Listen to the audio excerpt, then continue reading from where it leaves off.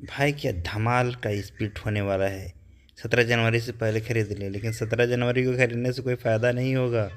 आपको सोलह ही जनवरी तक खरीद के रखना पड़ेगा। पता है क्यों सत्रह जनवरी को एक्स डेट है? एक्स डेट से एक दिन पहले ही खरीदना पड़ता है। अब देखिए इसका, ज़रा देखते हैं हाल।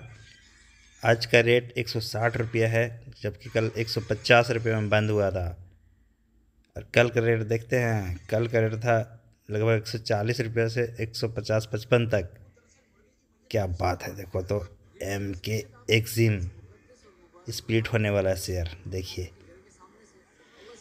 एक सौ तेईस रुपया था एक साल पहले। कितना दिन का बदला रहा? हाँ। अरे, एक मंथ पहले की बात बता रहे एक सौ आठ रुपया से एक सौ तिरपन रुपये गया। अब देखिए, एक साल का देखिए कितना था।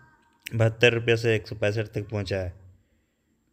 अयो बाबा 2021 में पता है, ये एक रुपये पचहत्तर पैसा रेट था। अगर आप एक लाख रुपया लगा देते तो लगभग अभी पता कितना होता? एक करोड़ साठ लाख रुपया आपके पास होता भाई। इतना कौन कमाता है बोलो? पर क्या करोगे, किसी को आगे के बारे में खबर नहीं है कि कौन सा शेयर कितना घट जाएगा और कौन सा शेयर कितना बढ़ जाएगा।